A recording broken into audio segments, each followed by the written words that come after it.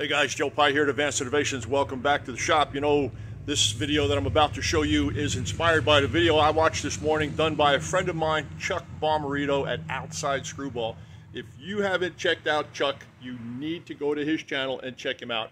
Outside Screwball. Chuck, I've known him for about six years, never had the privilege of shaking his hand, but I hope that happens pretty quick here.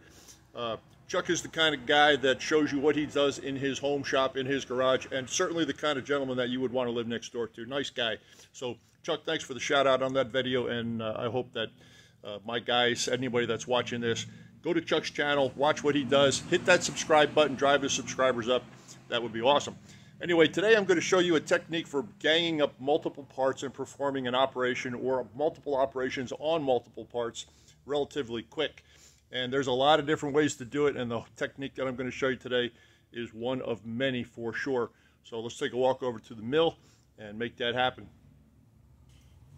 Well, the challenge this morning is to, let's say, put a chamfer on the ends of all of these pieces. It could be a chamfer, it could be a radius, it could be an angle, it could be whatever you want it to be. So what I'm going to do is I'm going to use a second vise, and I'm going to put all of these pieces in this vise. Now, the challenge you're going to encounter at this point is lining up all the ends. You can do that many different ways. I've seen very commonly a second vise put on its side on spacer blocks and allow the pieces to fall using gravity against the surface plate or table, whatever, and that'll give you the projection that you're looking for. Yep, that will work. I'm going to show you a different technique that you may not have thought of. It may be an aha palm to forehead moment and I hope you like it. Let's go over to the mill and we're going to do this whole thing on the mill pretty much uh, seamlessly.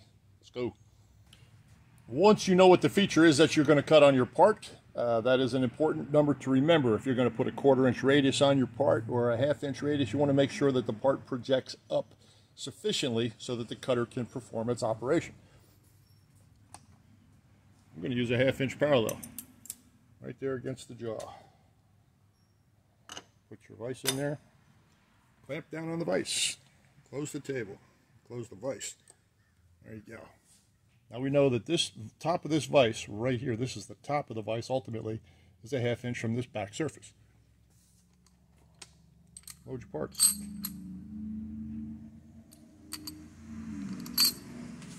I'm going to drive all the parts against the stationary jaw of the mother vise.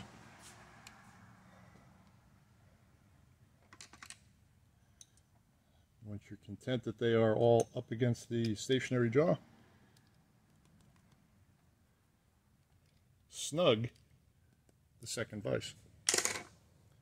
Gently tap the parts down so they don't bounce. Lock it down. Unloose in the main vise take the half inch parallel out or whatever spacer you put in there and rotate the vise.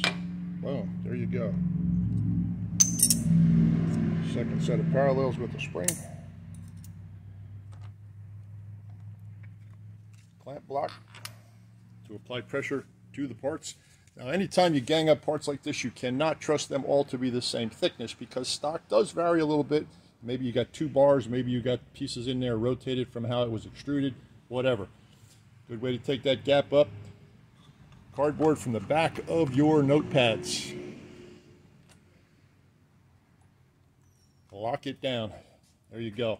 You can access both sides, front and rear, and depending on how the parts are positioned in this vise, you could perform multiple operations on that part.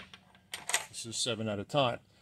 If the parts are longer than the vise, and you can still get away with a setup like this, put this vise up on parallels as well so that the part can project out of both sides. That way you can just flip the vise over and actually do both ends. It's a great way to establish cosmetic surfaces, chamfers, and other operations, rounds, uh, very much like Chuck's clamps that he made in his video. And that's exactly why I did this. Show you an alternate way to do that.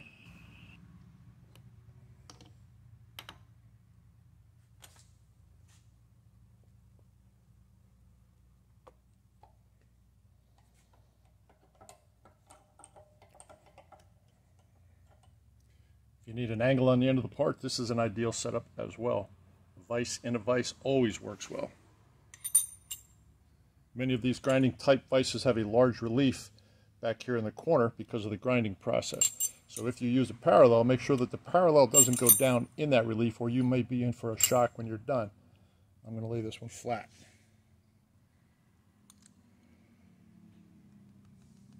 Standing my parts up. Put another spacer block in there so that the pressure block is above the parts as well.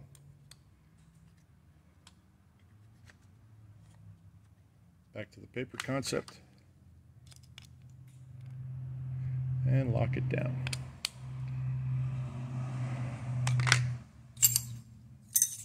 Take the parallels out.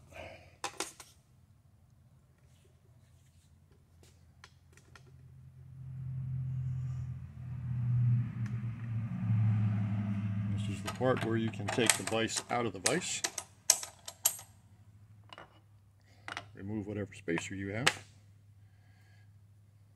and set your angle.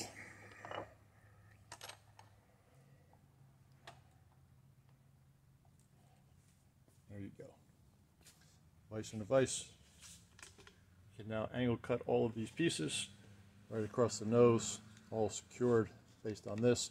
If you are not happy with the end squareness of the part, lay this vise on a surface plate sideways so that you have the benefit of the surface plate establishing your squareness of the set that you've just loaded. Those are two techniques that I use quite often in here, ganging them up, vice in a vice. Get yourself one. If you don't have one, save up, but get it and take care of it. It'll take care of you. Thanks for watching, guys. Do appreciate you stopping by. Go check out Chuck Bommarito. Hit that subscribe button. Have a great weekend, and we'll see you soon. Joe Pie here at Advanced Innovations in Austin, Texas. I'm out.